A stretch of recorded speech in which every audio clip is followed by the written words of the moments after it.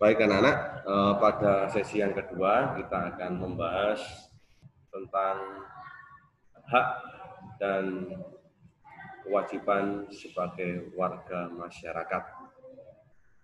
Pada tema 2, subtema 2, muatan PKN. Ya.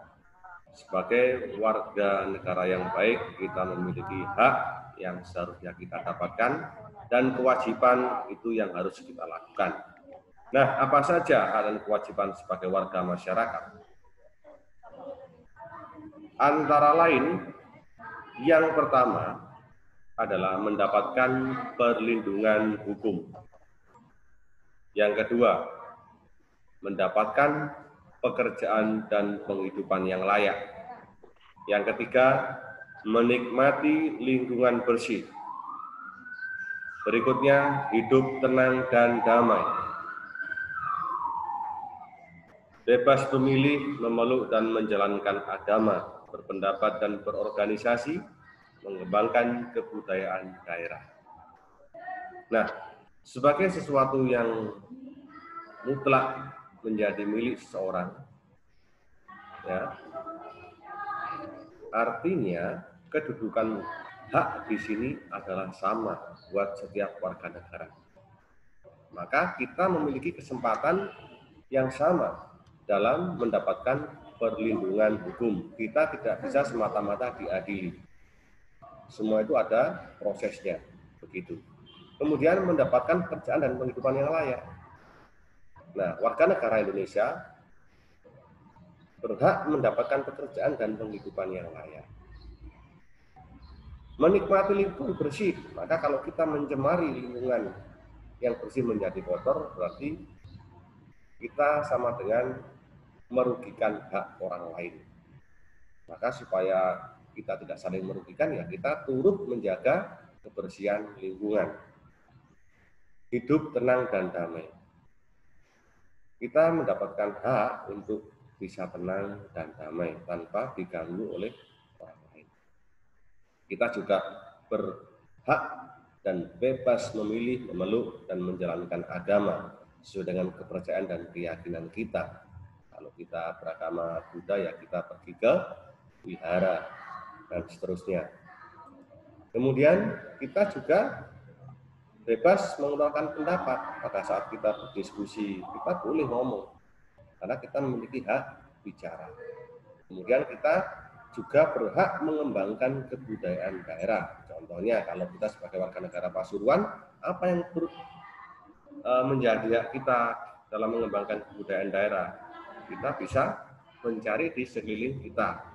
Nah, bagaimana kita mengembangkan hak-hak tersebut? Tentu kita harus bekerja sama satu sama lain. Selanjutnya, kewajiban sebagai warga masyarakat yang baik. Kewajiban ini kan sesuatu yang harus kita lakukan dengan penuh rasa tanggung jawab. Nah, kalau harus berarti ya wajib, begitu kan? Nanti tidak boleh tidak, harus dilakukan. Nah, bentuk-bentuknya apa saja? Yang pertama adalah mematuhi aturan atau norma yang berlaku dalam masyarakat. Dua, menjaga ketenangan dan ketertiban lingkungan masyarakat. Tiga, mengikuti kegiatan yang ada di lingkungan RT RW, desa setempat. Menghormati tetangga di lingkungan tempat tinggal, membantu tetangga yang terkena musibah, menjaga kebersihan lingkungan tempat tinggal. Kita ulas, mematuhi aturan atau norma yang berlaku dalam masyarakat. Norma, norma itu adalah hukum tak tertulis. Contoh hukum tak tertulis apa misal? Contoh, kalian duduk di atas meja, makan di atas meja dan duduk di atas meja. Ini sama dengan melanggar norma dan tidak diizinkan. Tetapi tidak ada aturan itu. Tapi orang tua akan mengatakan itu tidak sopan dan tidak baik. Nah, itulah norma. Kemudian Aturan apa? Aturan di rumah ada apa aja? Banyak. Aturan jam malam. Kamu harus tidur jam berapa? Oh, saya harus tidur jam 2 malam. Tidak ada yang aturan demikian. Apalagi kita sebagai seorang pelajar. Ya kan? Kewajiban kita adalah mengatur dan memiliki manajemen waktu yang baik. Mengikuti kegiatan yang ada di lingkungan RT. Saat ini kita sedang sibuk persiapan Agustusan di masa pandemi. Sudahkah rumah kalian ada bendera merah putih terpasang di depan rumah? Kalau belum silakan dipasang. Mama papa suruh pasang. Ini kewajiban, wajib. Ya. Kemudian selain itu menghormati tetangga. Nah, kita hormati tetangga kita, tetangga di kiri kanan. Membantu tetangga yang terkena musibah itu kewajiban kita juga. Jangan kalau ada tetangga yang terkena musibah bilang malah bilang say hello. Sudah kena musibah say hello. Nah, apa daya? Ini bukan sesuatu yang baik yang pantas kita lakukan. Namun kita harus peduli.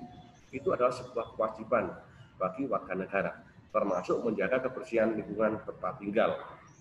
Kamu wajib menjaga lingkungan rumahmu agar tetap bersih dan sehat.